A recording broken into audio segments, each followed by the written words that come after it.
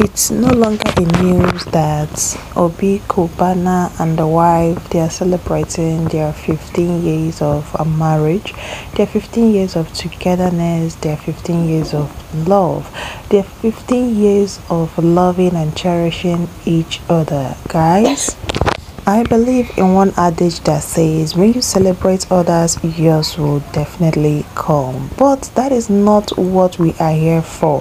I am here to spill it all for you guys and what is actually going on. What you have to do is subscribe to this channel. This is just with Doris.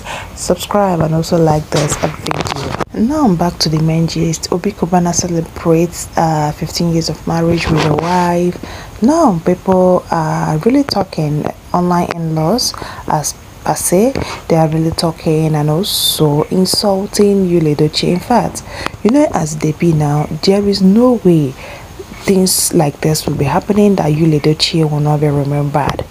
People came to his comment section and they were tagging Yul Edochie up and down and they were like, Mr. Man, come and see your mate, oh.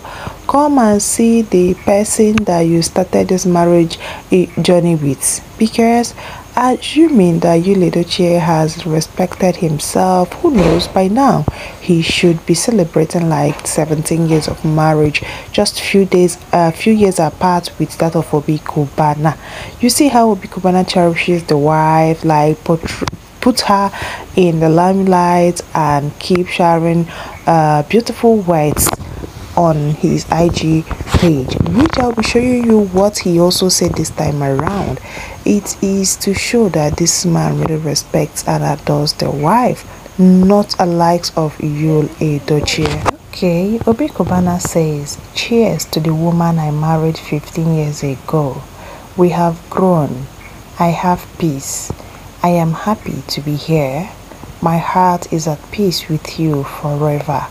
Thank you for everything. I love you at Lush AB.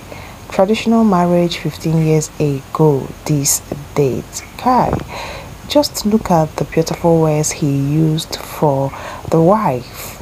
These are the kind of men that Yul Edochie should go and borrow sense from.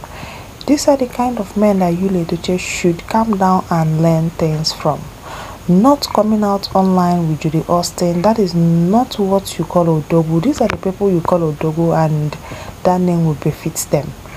Yul Edochie answering a Odogwu, that one no befits him at all at all. Because of a truth, it takes a man of good behaviors to be called Odogwu. You don't just get that title anyhow, you earn it with your good behaviors.